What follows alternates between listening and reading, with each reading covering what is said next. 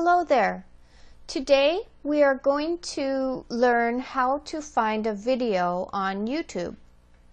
We are also going to learn how to find a video that shows how to open a Facebook account. First we have to get online. Click on Mozilla Firefox or you can use Google Chrome. You can also use Explorer.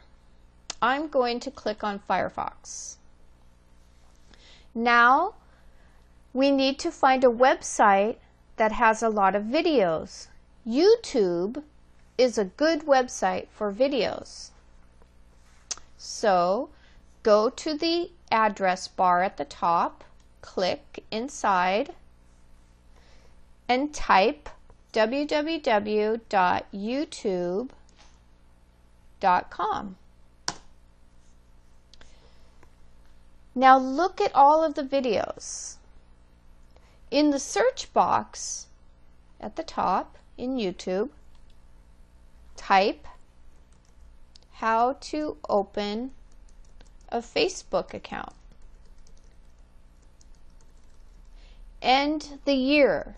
This year for me is 2013.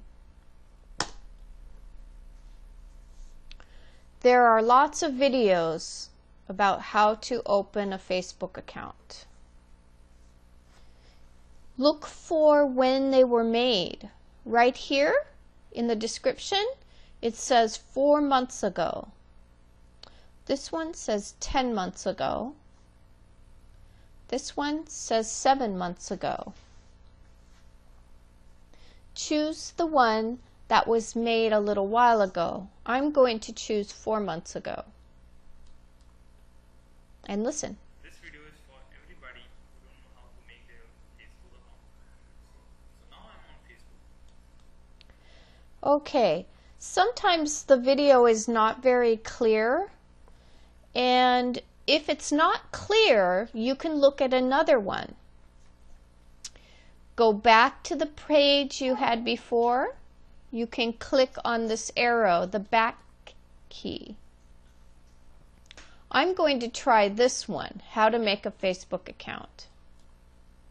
And listen. How to create a Facebook account. If you'd like to create a Facebook account, this can be done really easy and quickly by following these simple steps. First of all, go to facebook.com and once you're there, scroll down to this area here where it says sign up. Okay, this one looks clear. That's how you find a video on YouTube. So let's review. First, open Mozilla Firefox or whatever. Type YouTube, www.youtube into the address bar. Type how to search, how to open a Facebook account. With the year